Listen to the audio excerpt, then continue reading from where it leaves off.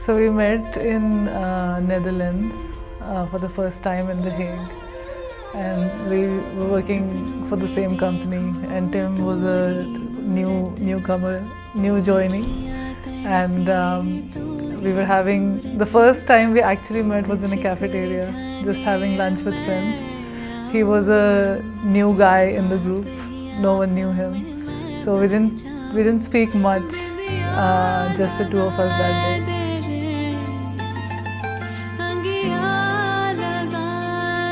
We saw each other and I guess sparked each other's interest. and then um, Tim offered to help us, me and my roommate, he offered to help us uh, organize a barbecue.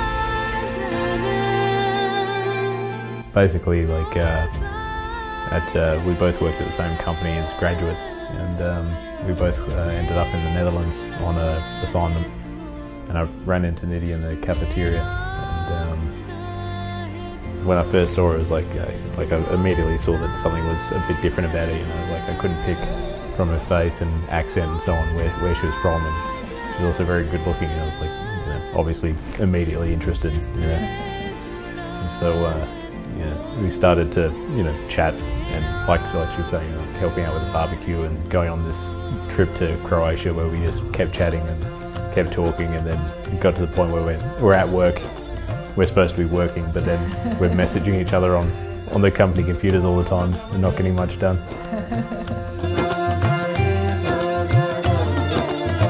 So he kindly offered to shop for the, for the meats and the food we needed. He went out of his way to help us out, which made me wonder why is this, why is this guy going out of his way to help two strange ladies? But he he he helped us organize a party. He came over. He uh, he helped us a lot. And um, after the party, I told him that we're going to Croatia with our uh, friends to Dubrovnik, and if he wanted to join us, and he uh, he gladly said yes. I met uh, her brother at uh, at Parul's wedding. Yeah. Like her friend's wedding, I met her brother kind of discreetly. At the time, it was like uh, he couldn't know that that we were dating. Uh, so I was introduced as this is this is my work colleague, and we both know Parul. But yeah, but in reality, like we, we were dating and so on. And uh, a few years after that, I came to India and met her parents and spoke to the family, and then the family kind of gave, gave their agreement that uh, that we could you know continue seeing each other and that we'd be engaged and, and married, where we are here today. Yeah, long, long road.